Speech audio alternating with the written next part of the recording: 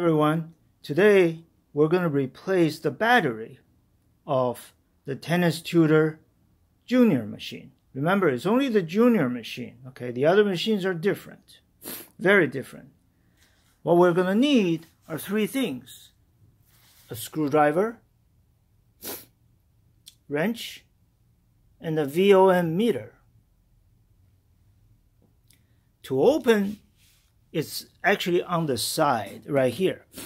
There are these screws. There are two on this side, one on this side,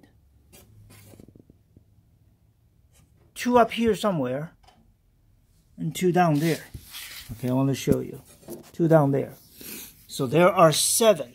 Okay, to make it easier, I've got them all down except this one. Okay, so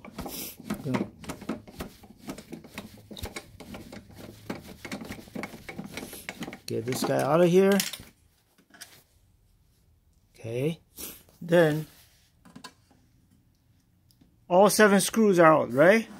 This thing comes down like this. Okay, you can see there's a lot of uh,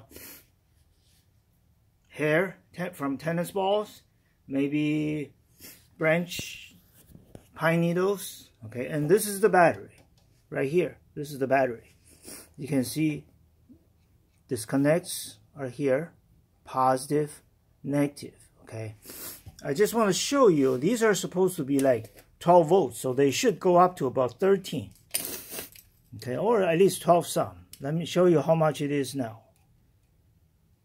It is only 4 so it's a dead battery okay you should have at least 12 point something. It says in the back of the battery, okay?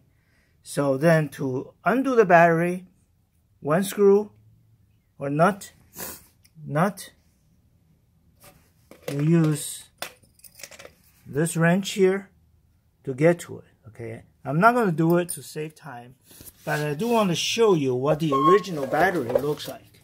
The original battery is going to look like this okay? So you can get it first then just undo these these two screws okay? Take these things off undo this right? This comes off. This will come off. Then you'll be okay.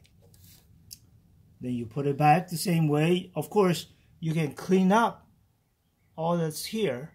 So it looks more professional as a job. Thank you. I hope you like it. Here's the final picture.